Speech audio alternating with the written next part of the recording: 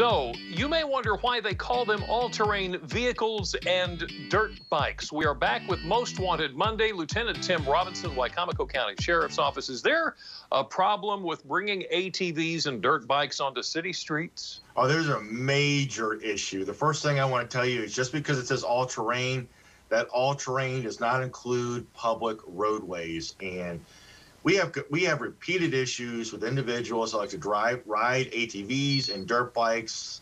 They've been known to create quite a disturbance. Matter of fact, even uh, several days ago, there was a fairly serious accident involving one of these off-road vehicles and a private mm. car in Salisbury, and they, they create a hazard that does not need to be. Yeah. There. All right. So you brought us a list of fugitives that you're looking for. Let's take a look at your first one, Richard Scott Baldwin. Richard Baldwin, he's 40 years old. We have an address for him in Berlin, Maryland, for any reviewers in Worcester County. And he's wanted by the sheriff's office on a circuit court bench warrant that was issued back in December when he did not make an appearance in the circuit court to answer theft charges.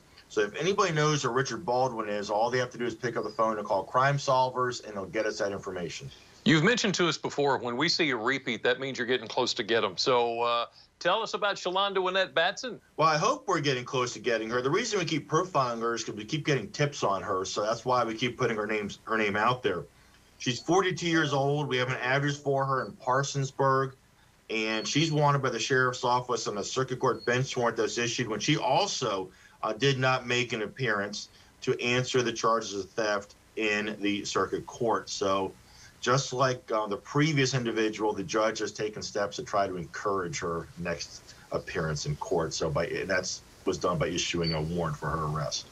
This is Stacy Dale Bosman. She's 36 years old. We have an address for her in Princess Anne. We also have an address for her in Millsboro, Delaware.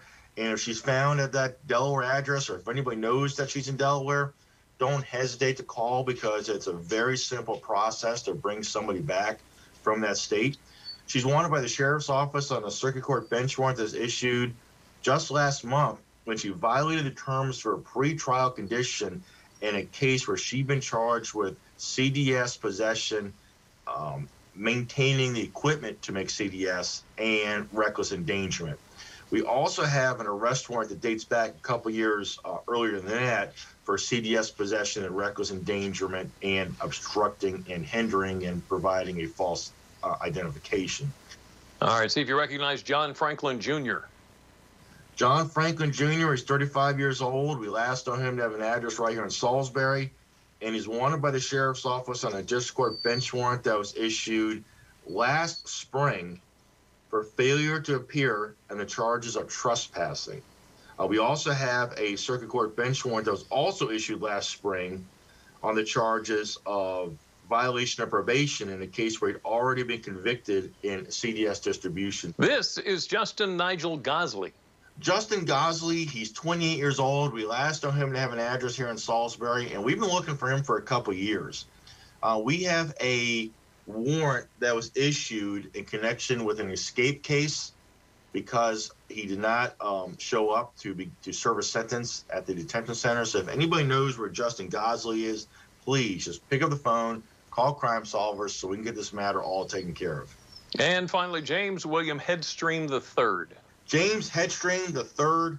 He's 27 years of age. We know that he used to have ties in Salisbury, and we don't have any reason to believe that he's left, but we do know he originally was from out of state. We believe it's somewhere in the Midwest. If anybody has any information where he is, he was actually sentenced to the Wicomico County Detention Center to to serve a sentence uh, for a theft conviction, and he never showed up.